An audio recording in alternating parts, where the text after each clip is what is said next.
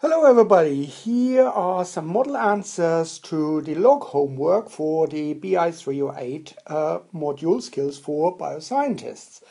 The first question was uh, solve for x, so we've got 10x, 10 to the power of x equals 10,000. And in order to get this x here, um, this one here, we need to get rid of this 10 to the power of. So what's the easiest way to do that? We know that 10 to the power of something and log are the inverse operations. So when we have 10 to the power of, we can inverse the whole uh, uh, thing with log. So what we do here is we take both sides log to the base of 10 and what we get is log 10 to the power of x equals log 10,000 and just to make it clear and consistent what you see on your calculator, I put some brackets around that. Now, what we know is that log and 10 cancels out. So all we have left on the left-hand side is an x equals, and here we still have log 10,000. And if we put that in a calculator, we get the number of 4. So log 10,000 equals 4. The next question was solve for x if 10 to the power of x equals 0.01.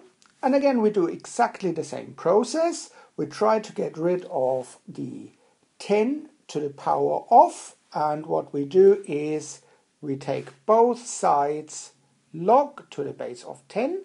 So we've got log 10 to the power of x equals log 0.01. Again, I should put that into brackets. And we know that log and 10 eliminate each other, so we've got x equals log to the power of 0.01 and if we put that into a calculator we get minus 2 so the correct answer here is 10 to the minus 2 the next question 10 to the power of x equals 2 again it is the same old story. We need to get rid of the 10 to the power of.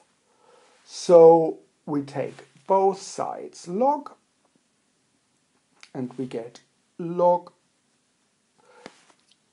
10 to the power of x equals log of 2 log cancels out. We've got x left. x equals log 2. And for this, I think I need to get my calculator out. This gives us 0 0.301.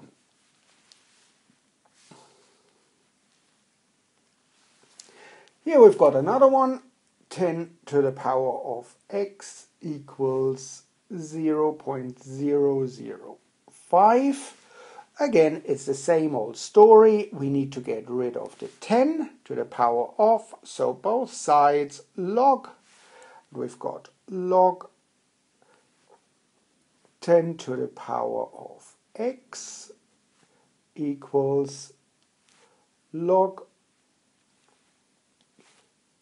0.005 log cancels out, we've got x left, and here we've got log uh, of 0.005. And when we put that in the calculator, it gives us minus 2.301. So the result of uh, our calculations can be positive or it can be negative. So this x can be positive or it can be negative. This number here can never be negative because we would have the log of a negative number and this is not defined. Let's have a look at another example. We have 10, 10 to the power of x plus 3 equals 1.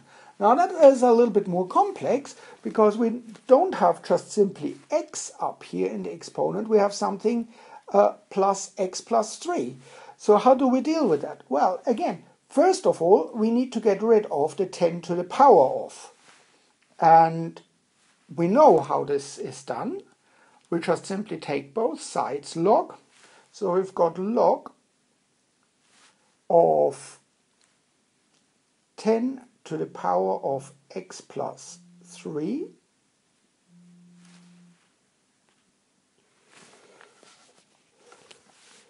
equals log of 1. We know log and 10 to the power cancels out. So what we have left on the left hand side is x plus 3 equals and log to the power log of 1 again we can put that into a calculator but this gives us 0 so we reduced this equation here to basically this equation here. So x plus 3 equals 0 and uh, that's again quite easy to solve because what we need to do is we do the inverse mathematical operation of this one here. So we take both sides negative 3 and we have x plus 3 minus 3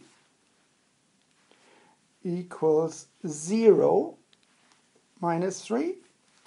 So plus 3 minus 3, this uh, uh, eliminate each other. So all we have left now is really x equals minus 3. And uh, very clearly that is the answer to this problem. Now let's have a look at another one.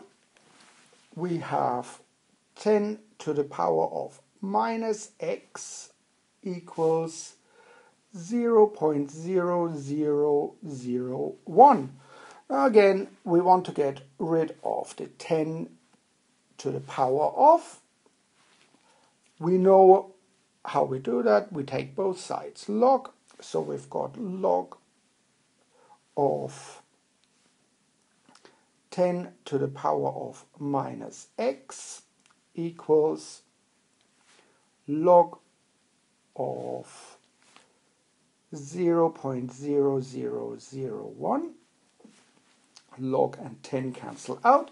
So we've got minus x equals and this one here would give us if we put that in the calculator minus 4 now we've got minus x equals minus 4 we simply divide by minus 1 so we've got minus x divided by minus 1 equals minus 4 divided by minus 1. So we see the minus cancels out and we've got x equals 4.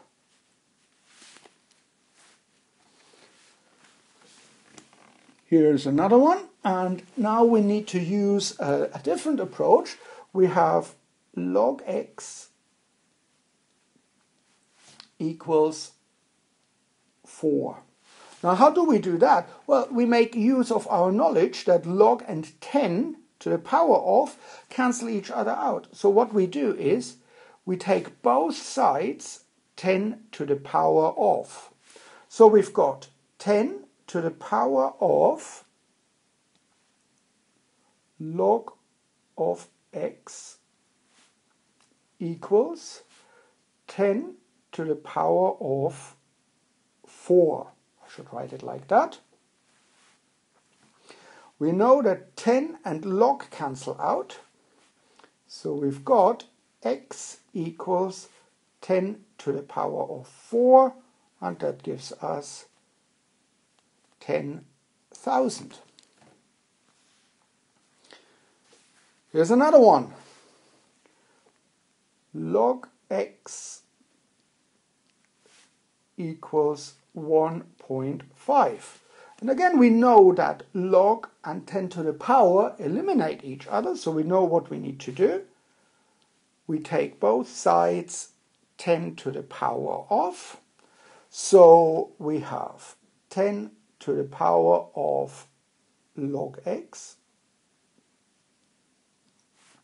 equals 10 to the power of 1.5. 10 and log cancel out, so we've got x equals 10 to the power of 1.5 and for that we uh, I need to get my calculator out. This gives us 31.62. Next question, oh we have log x equals minus 2.7. Again, we know already how we deal with that. We take both sides 10 to the power of, so we've got 10 to the power of log x equals 10 to the power of minus 2.7 10 and log cancel out, so we've got x equals 10 to the power of minus 2.7, and that gives roughly 2 times 10 to the minus 3, or you can write it as 0 0.002. Both answers are absolutely the same. Now let's have a look at another question. Um, we have here e, e to the power of x equals 1. Now that's an interesting one because now we don't have any longer here 10 to the power of x. Now we've got this e, this 2.7 something, something, something. And what we need to remember is that E and ln are the inverse mathematical operations. So what we've done before with 10 and log is now E and ln. So let's see how this works. We have E and therefore we take both sides ln. So we've got ln of, uh, I should probably do it like that, e to the power of x equals ln of 1. We know that ln and e cancel each other out, so we've got x equals ln of 1 and uh, when we put that into the calculator it gives us 0.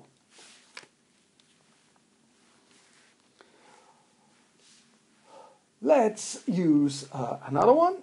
e to the power of x equals 2.5. So what do we need to do?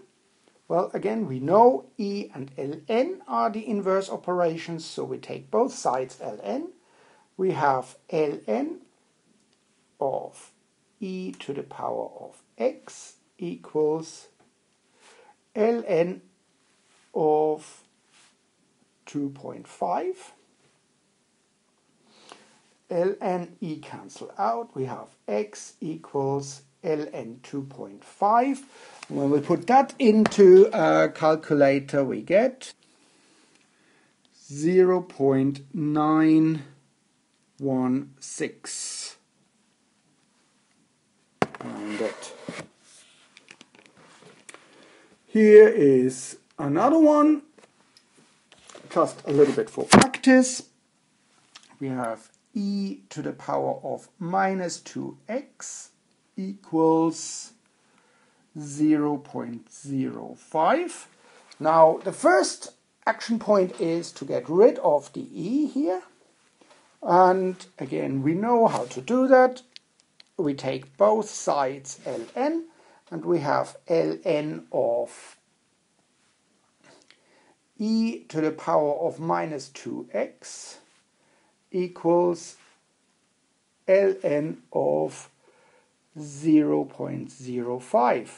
ln and e cancels out, and now we've got minus 2x on the left hand side equals, and let's get the calculator out. Well, this gives us roughly minus 3. Very roughly, just a little bit of rounding. We divide now both sides by minus 2 and we get minus 2x divided by minus 2 equals minus 3 divided by minus 2. We need to do this operation for both. So the minus 2 minus 2 cancels out. And we've got x left x equals, the minus cancels out, and we've got 3 divided by 2, or roughly 1.5. Here's another one. We have now, we have ln x equals 0.1. Now what we need to do now is we need to get rid of the ln, and we know how to do that. We take both sides e. What we get is e to the power of ln x equals e to the power of 0.1. We know e and ln cancel each other out, so we've got x equals e to the power of 0.1, and if we put that in the calculator, we get 1.0, oh, sorry, 1.105.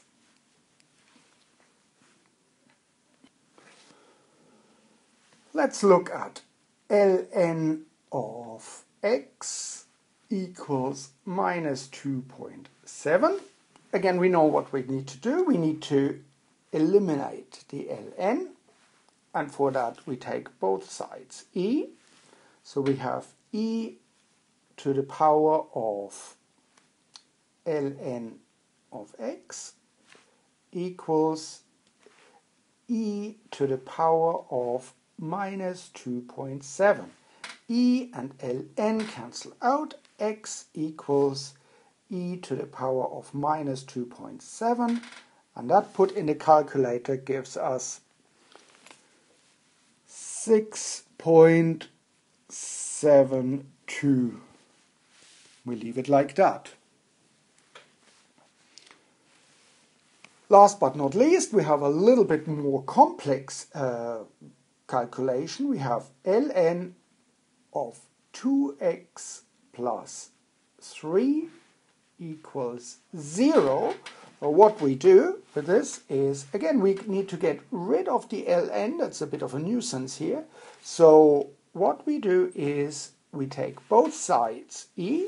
We have e to the power of ln 2x plus 3 equals e to the power of 0.